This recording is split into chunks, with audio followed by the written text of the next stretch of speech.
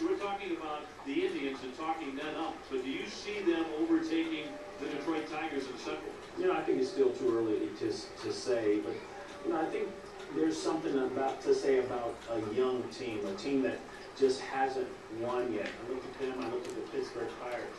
You know, I think there's something to say about getting close and then really truly believing and then going the year or so. So I, I don't know if Cleveland is quite there yet. Certainly, they've had a, a tremendous season, and I think the Ubaldo trade is definitely going to help them. But I don't quite know if they're ready to win at this point.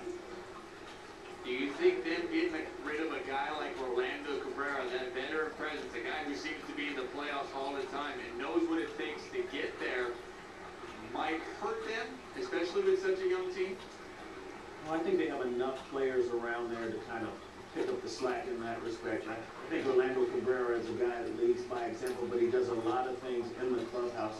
And I think one thing that doesn't get talked about enough is the ability to communicate with all the guys in the clubhouse. So that's one thing that Orlando Cabrera could and does do. I'm talking about speaking Spanish and, of course, speaking to the English players as well. He's just one of those kind of personalities. So maybe it'll, it'll hurt them a little bit, but I think they've got enough guys in that club and enough diversity on that club and a manager who speaks Spanish as well.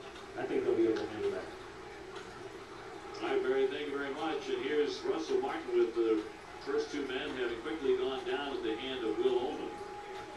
Martin in the game is grounded back to the pitcher, walked and scored tonight. So Posada has a double, Chavez has a home run, Swisher with a single, Cano has two hits. There's a triple for Teixeira, two hits for Granderson, three for Jeter, two for Gardner. This is the only